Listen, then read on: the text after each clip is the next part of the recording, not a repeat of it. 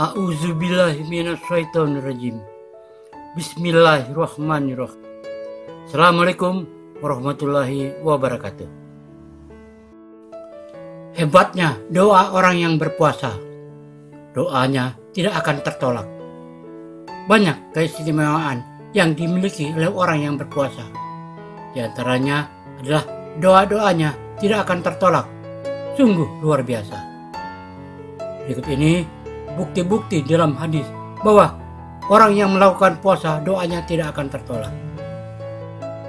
Rasulullah Shallallahu Alaihi Wasallam bersabda dalam hadis riwayat Anas bin Malik radhiallahu anhu tiga orang yang tidak akan tertolak doanya yaitu doa orang tua bagi anaknya, doa orang yang berpuasa, dan doa musafir.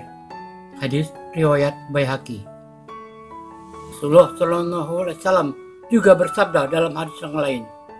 Riwayat dari Abu Hurairah radhiallahu anhu.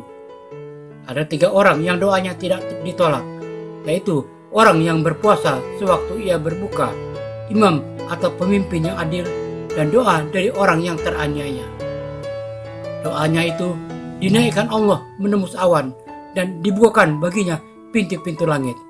Serta firman Allah kepadanya, Demi kemuliaanku, aku akan menolongmu walau di belakang nanti. Hadis riwayat Tirmizi. Wallahu alam bisawab. Semoga bermanfaat. Assalamualaikum warahmatullahi wabarakatuh.